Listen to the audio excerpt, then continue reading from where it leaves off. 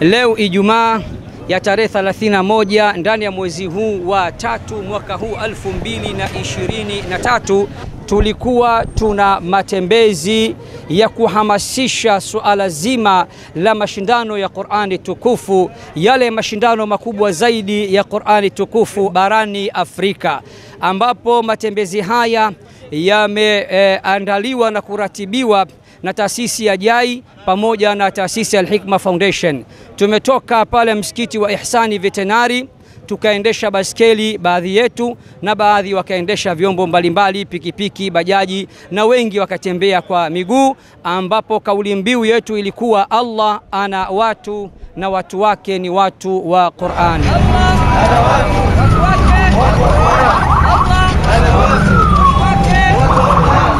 Na hili au haya yote ni kutokana tu kuendelea kuwazindua Waislamu na umma wa Kitanzania kwa ujumla ya kwamba mashindano ya Qur'ani ya Afrika safari hii yapo. Insha arrahman alladhi allama alquran, yatafanyikia pale katika uwanja wa Uhuru, na natoa wito kwa Waislamu na Watanzania wote e, msione tabu kufika ati kwa sababu labda uwanja utakuwa ni mdogo. Tumeruhusiwa kuutumia ule uwanja kwa mapana na marefu. Tuta weka ndani ya uwanja maturbai pamoja na viti mbalimbali mbali, ili mradi kukidhi mahitajio ya wapenzi wa Qur'an.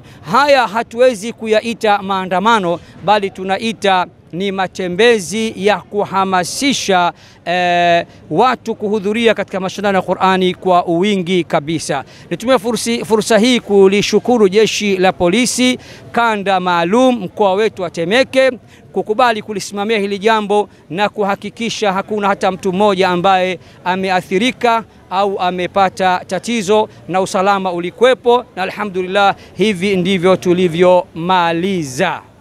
Niendelee kuwa rai na kuwaomba Waislamu na Watanzania tukutane ndani ya uwanja wa Uhuru tarehe tisa mwezi wa nne mwaka huu 2023 mara baada ya salatu alfajri. Mashindano safari hii yataanza mapema sana na kumalizika mapema sana.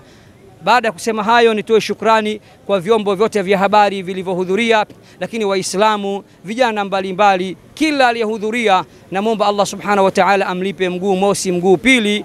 Eh, Allah awaondolee eh, maradhi, Allah awaondolee njaa, Allah awaondolee shida na dhiki, Allah awafungulie milango yote ya kheri. Kila ambaye leo katokwa na jasho au kapigwa na vumbi kwa sababu ya Qur'ani, Allah amjalie awe miongoni mwa watu wake, na Allah ana watu na watu wake ni watu wa Qur'an. Allah kama ulivyotukutanisha katika kuhamasisha watu kuhudhuria katika mashindano ya Qur'ani, akhera tunakuomba utukutanishe katika pepo ya daraja la kwanza pamoja na mtume wetu Muhammad sallallahu alaihi wasallam na pamoja na manabii, mitume na watu wema na watu wa Qur'ani. Naitwa Nuruddin Kishki, mwenyekiti wa mashindano makubwa zaidi ya Qur'an tukufu barani Afrika. Wassalamu alaikum warahmatullahi wabarakatuh. Wa alaikum salam.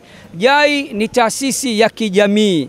JAI ni taasisi inayowakilisha eh, Waislamu katika kutu katika kutekeleza tabia njema za Kiislamu, lakini pia JAI Temeke wako vizuri wakishirikiana na JAI Taifa, na JAI wao ndio walioleta E, fikra hii. Sisi Al-Hikma Foundation hatukuwa na fikra hii tangia mwaka jana, tumelikubali, tumefanya, tumenyonga baskeli na mimi mwenyewe nilinyonga baskeli na leo pia nimenyonga baskeli kwa mwaka mwingine.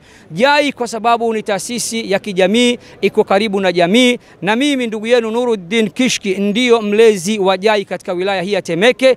Wameona katika kujitoa kwao na kujitolea kwao katika mashindano haya, pia tulete mbinu mbadala pamoja na matangazo mbalimbali tunayoyatoa, vipeperushi, mabango ya kubandika, mabango ya barabarani, katika social media. JAI wakasema hapana, tufanye pia matembezi ya kuhamasisha mashindano ya Qur'ani tukufu. Wana wajai wako vizuri, na si kuja na baiskeli kutoka veterinari mpaka Al-Hikma tu, bali JAI wanatoka na baiskeli hapa Dar es Salaam mpaka Tanga mpaka Mwanza kwa ajili ya uchangiaji wa damu na mambo mbalimbali mbali ya kheri. Wassalamu alaikum wa ورحمة الله وبركاته. وعليكم السلام ورحمة الله